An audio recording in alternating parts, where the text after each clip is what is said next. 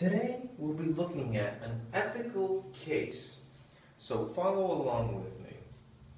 A 23 year old woman was found in a ditch and brought to the hospital by police. She has a high fever and white blood cell count is suspected of having an infection. She tells staff that she is from Georgia and lived in an assisted living facility because she is schizophrenic and bipolar. Her mother has custody over her. She escaped the facility and hitched a ride with some guys up to northwestern Ohio. They have been sexually assaulting her as payment for the trip and have now dumped her into a ditch. Her mother is called and verifies that she indeed is a patient at the facility and is started on antibiotics. The next morning, she has a fever and wants to leave despite being advised on her risk on untreated infection. The mother is called who insists that she is kept there until she is able to bring her home.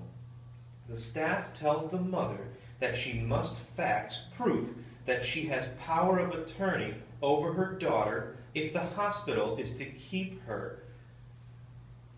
The mother never responds and cannot be reached. Question. Should the patient be discharged against hospital advice or be restrained? Should she be declared incompetent to make decisions about her health?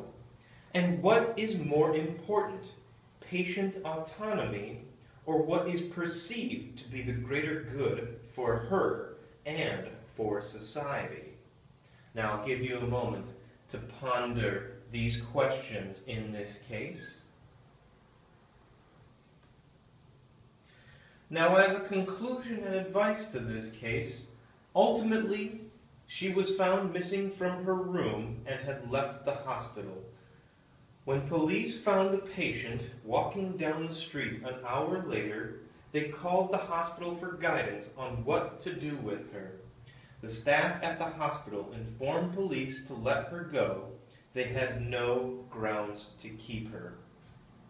Without the mother being able to supply a proper power of attorney proving that she had custody over the patient, there was no way for the hospital to be able to hang on to her. The patient was over 18, meaning that she had her own autonomy and had the ability to make her own decisions in this case without the power of attorney provided by the mother and proof that the patient was indeed schizophrenic and bipolar, the hospital had no legal grounds as to restrain her or keep her in the hospital for her own good. And that was today's ethical case.